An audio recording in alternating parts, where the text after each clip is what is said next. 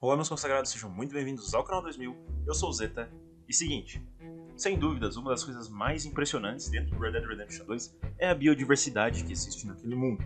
É incrível o tanto de animais e plantas que ali foram colocados, mas entre todos esses animais no jogo, há um com uma história que pouca gente conhece. O periquito da Carolina. Mantenha a maturidade e não ria. E é sobre ele que nós vamos falar hoje, então bora lá.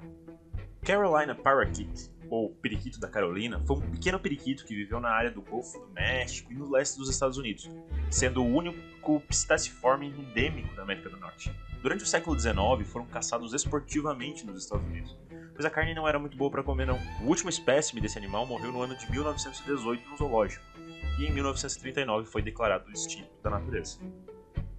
Mas o que isso tem a ver com Red Dead Redemption 2? Você deve estar se perguntando agora. Bom, acontece que durante os eventos Red Dead Redemption 2, o periquito ainda não estava extinto. E você pode encontrá-lo no jogo. Mesmo que seja bem raro, você ainda consegue encontrar. Mas além disso, há uma missão secreta com eles. A missão de extinguir essa espécie. A missão é simplesmente matar 25 periquitos.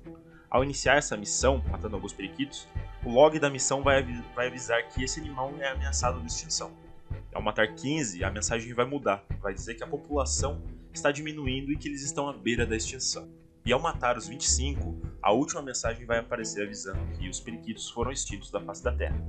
E depois disso, eles não aparecem novamente no jogo. Não há troféus nem recompensas por essa missão, apenas a perda de honra e as carcaças deles que você pode vender por 4 dólares. A possibilidade de extinguir um animal torna esse assunto tratado em todos os Red Dead Redemptions, excluindo Revolver, lógico, não é Redemption, é Revolver.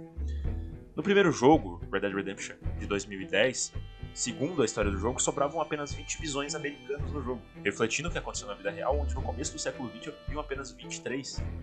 No jogo, caso o jogador mate todos os 20, receberá uma conquista chamada Manifest Destiny, e todos os bisões vão sumir do jogo.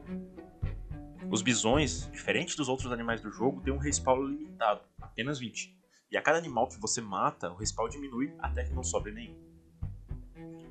Já na expansão Undead Nightmare, também de 2010, esse conceito também existe em uma certa missão da história, chamada de Birth of the Conservation Movement.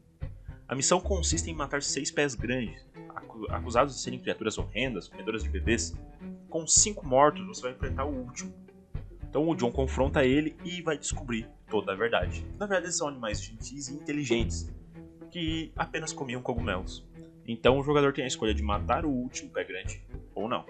Se você não matar, você até pode encontrar ele algumas vezes vagando pelas florestas do jogo, mas ele será o último da sua espécie. E caso você decida matá-lo, você nunca mais encontrará um pé grande dentro de Red Dead Redemption novamente. Então, meus consagrados, vocês já conheciam essas três histórias? Já mataram todos esses bichos? Já fizeram essa maldade? Comenta aí o que você fez, quais foram as suas decisões.